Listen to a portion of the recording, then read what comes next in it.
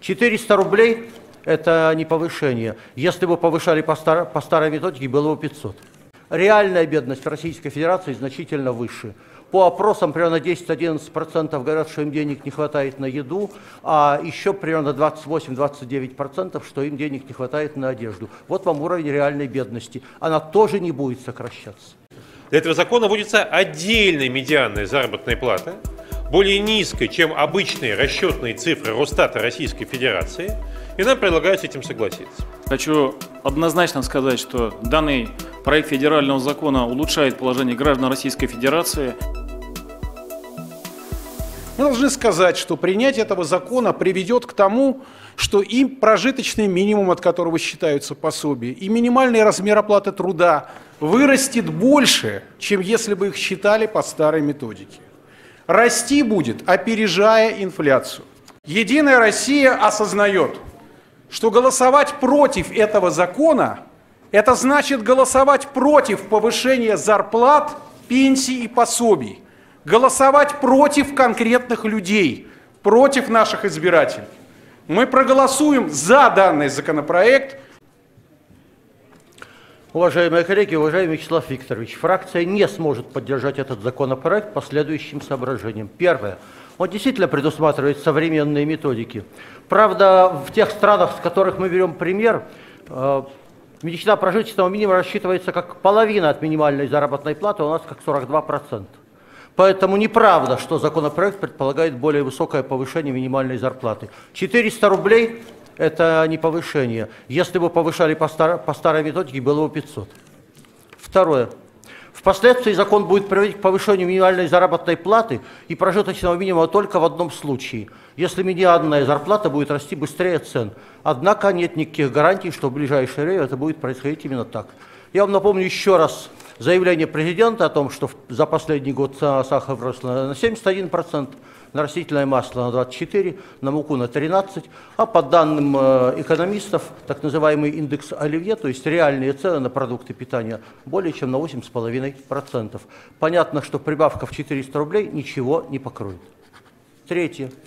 Закон не позволяет сократить в стране даже официальную бедность в два раза, как это было предусмотрено указом президента от э, мая 2018 года. В настоящее время она составляет 13, ну почти 20 миллионов человек, 13,5% по данным э, Финуниверситета при правительстве и не будет сокращаться даже независимо от коронакризиса, а сейчас тем более. Четвертое. Реальная бедность в Российской Федерации значительно выше – по опросам примерно 10-11% говорят, что им денег не хватает на еду, а еще примерно 28-29%, что им денег не хватает на одежду. Вот вам уровень реальной бедности. Она тоже не будет сокращаться. Пятое. Заместитель председателя правительства Ольга Голодец в свое время говорила об уникальной российской бедности, имея в виду бедность работающих. Законопроект в этой части, увы, никаких проблем не решает. Мы консервируем на пять лет бедность и, увы, даже нищету. Шестое. Гарантия, о которых здесь говорили, о которой содержит закон, о том, что мы не можем понижать э, минимальную заработную плату при снижении медианной зарплаты, недостаточно. Она должна была бы расти не ниже, чем растут цены в стране. Но такой гарантии нет. Седьмое. Федерация независимых профсоюзов России много раз требовала, чтобы мы поэтапно повышали минимальную заработную плату до минимального потребительского бюджета. Сейчас, по данным Минтруда, это 31 33 тысячи рублей, по, по данным Федерации независимых профсоюзов России 39. И этой проблемы закон не решает. Слишком много рисков. Фракция не будет поддерживать этот законопроект. Спасибо. Спасибо, Олег Николаевич. Пожалуйста, Шейн Олег Васильевич. Фракция «Справедливая Россия». Если бы речь шла только о том, что привязать минимальную заработную плату к медианной заработной плате, то разговор, наверное, был бы немножко другим. Но на самом деле весь разговор гораздо глубже. На каких порогах мы вводим соотношение между минимальной заработной платой и средней заработной платой по стране? Эти пороги, во-первых, цементируют тот уровень нищеты, который сегодня есть в Российской Федерации, а, потому что цифры, которые определяются этим законом, по сути дела, просто дублируют сегодняшнюю ситуацию. Но второе, этим законом фактически ведь вводится отдельная медианная заработная плата в Российской Федерации. Те средние зарплаты, по которым нам говорит Росстат, про которые нам говорит правительство, где они рассказывают о том, что средняя зарплата 40 тысяч рублей, а медиана 35, для этого закона применяться не будут. Для этого закона вводится отдельная медианная заработная плата, более низкая, чем обычные расчетные цифры Росстата Российской Федерации, и нам предлагают с этим согласиться. Более того, нам предлагают эту ситуацию э, сохранить на протяжении ближайших пяти лет. И мы прекрасно понимаем, что когда в законе говорится о том, что да, эти параметры могут быть присмотрены досрочно, это означает, что предусмотрены, раз могут быть, то могут и не быть. И никто их досрочно пересматривать не станет. По этой причине фракция «Справедливая Россия» предлагала вполне конкретную поправку – довести реальное соотношение между минимальной заработной платой и медианной заработной платой до уровня стран Евросоюза. Раз мы эту методику берем у европейцев, прогрессивную, современную, хорошую методику, значит и соотношение надо брать оттуда же, а не в тропической Африке. Однако поправка, это предложение вчера фракции «Единая Россия» здесь в зале пленарных заседаний были отклонены. Соответственно, данный закон, по сути, сохраняет современное соотношение между э, минимальной заработной платой и э, прожиточным минимумом э, в реальных цифрах, которые есть по Российской Федерации на сегодняшний день, и сохраняет тот уровень бедности, который есть в России сегодня. Да, нам говорят, что медианная заработная плата может расти, тогда вырастут доходы. Но мы видим, что она не достигает на сегодняшний день даже уровня 2014 года. И когда она достигнет, вопрос весьма спорный. Поэтому «Справедливая Россия» не может поддержать данный законопроект. Многие наши товарищи по фракции голосуют против него. Спасибо. Спасибо. Уважаемые коллеги, у нас э, в работе пленарного заседания Государственной Думе принимает участие Пудов Андрей Николаевич, статс-секретарь, заместитель министра труда и социальной защиты Российской Федерации. Есть возможность спросить у представителя Министерства, правительства Российской Федерации по данному законопроекту. Принимаемый закон улучшает положение граждан или нет? Уважаемый Пожалуйста, Викторович, включите микрофон.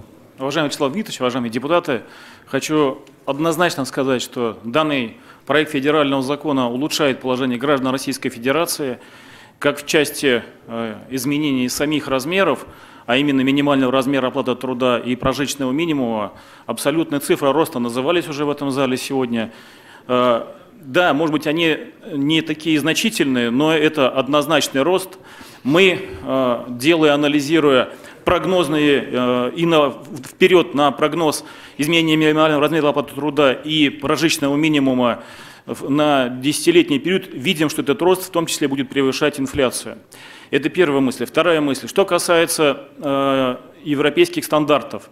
Действительно, берем мы за основу медианную зарплату, медианный среднедушевой доход, но в отличие от э, европейского опыта, который эти показатели как абстрактно использует, э, ориентируясь только на средние значения, в данном случае у нас это конкретные величины, которые закрепляют социальные обязательства государства, и более того, я хотел бы еще дать одно пояснение в отношении пятилетнего. У нас этот пятилетний не раз в пять лет, а не, чем, не реже, чем раз в пять лет.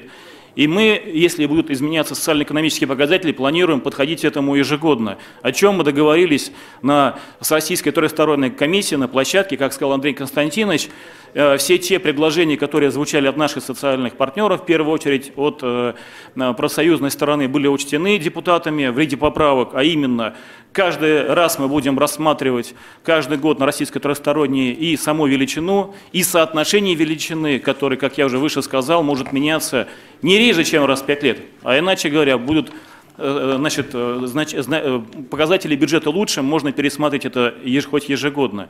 О чем свидетельствуют, кстати, параметры бюджета федеральные, которые предусматривают реальное увеличение социальных расходов государства на увеличение как минимального размера оплаты труда, так и прожиточного минимума. А это реальные доходы населения, которые растут, исходя из того, что величина будет расти в более высокими темпами. Прошу поддержать. Спасибо.